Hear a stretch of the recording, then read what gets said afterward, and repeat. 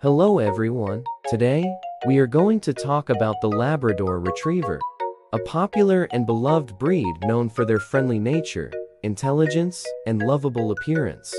But did you know that Labradors have a unique coat that protects them from the elements and adds to their charm? First, let's discuss the Labrador's coat. Labradors have a dense, water-resistant coat that can be black, yellow, or chocolate in color. The coat is medium to long in length and is generally straight, but may have a few wavy trends. The coat is generally silky to the touch, making it easy to keep clean. Now, let's dive into the different colors.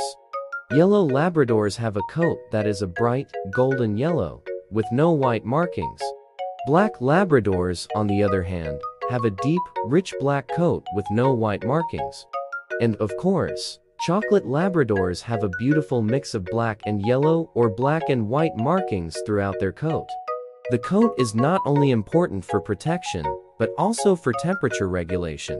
Labradors have a thick undercoat that helps keep them warm during cold weather, and their water-resistant coat helps keep them dry in wet conditions.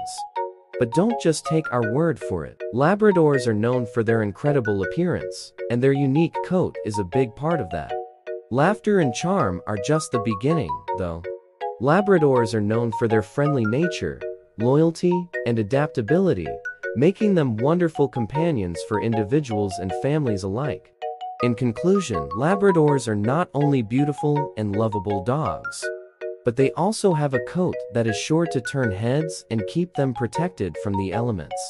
So, the next time you see a Labrador, take a moment to appreciate their stunning appearance and the unique qualities that make them such a wonderful breed.